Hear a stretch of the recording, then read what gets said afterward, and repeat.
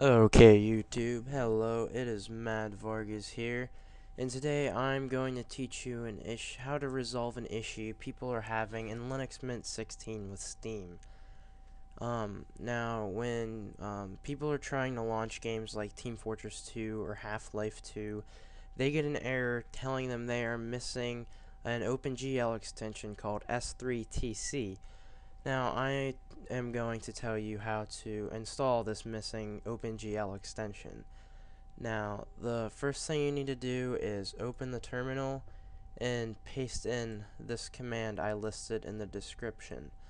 Now, the command is sudo apt-get install libtxc-dxtn-s2tc0 colon i386.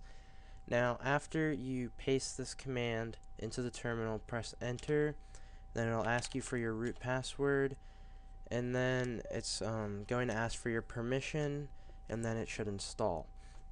Now the reason it's not installing for me is because well I already have it installed. Now after you install this library um, uh, Team Fortress 2 and Half-Life 2 should be working just fine. Now uh, that should be about it for this video. Um, thank you for watching. Uh, I plan on posting more soon